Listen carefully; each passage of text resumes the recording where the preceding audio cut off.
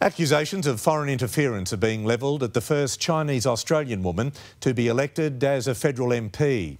The loyalty of Liberal Gladys Liu has been called into question because of her association with groups linked to the Chinese Communist Party.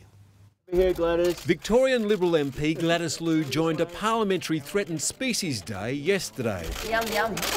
and by nightfall, her own future looked threatened during an interview with Andrew Bolt. I can tell you that uh, I cannot recall. Records show Gladys Liu was a council member of the Communist Party linked Guangdong chapter of the China Overseas Exchange Association between 2003 and 2015. If I can't recall, I can't be an active member of that. Uh, council, can I? Active membership of the association would be a problem. Whose uh, function is to exert influence and spread uh, Communist Party propaganda in Australia. Nine News has also confirmed that a group of Chinese businessmen invited by Gladys Liu to a 2015 Victorian Liberal fundraiser bid $110,000 for a day on a campaign bus with then Prime Minister Malcolm Turnbull and Foreign Minister Julie Bishop. But the party decided not to collect the money because of security concerns. Was there a donation Nobody made had- and returned? No.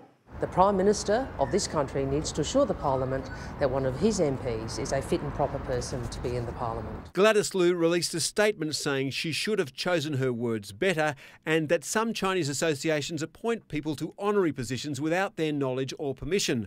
I asked them to stop using my name. Labor's repeated questions to the Prime Minister were shut down. That question is out of order. But one senator has a question for both major parties.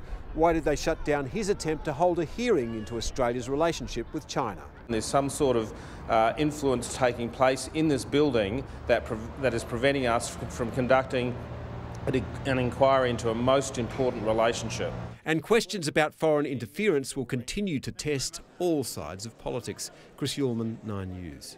Hi YouTubers, I'm Davina Smith. Well, click here to keep watching Great Nine videos and subscribe to our channel here for lots more news, analysis and exclusive content. For breaking news, see you at 9news.com.au.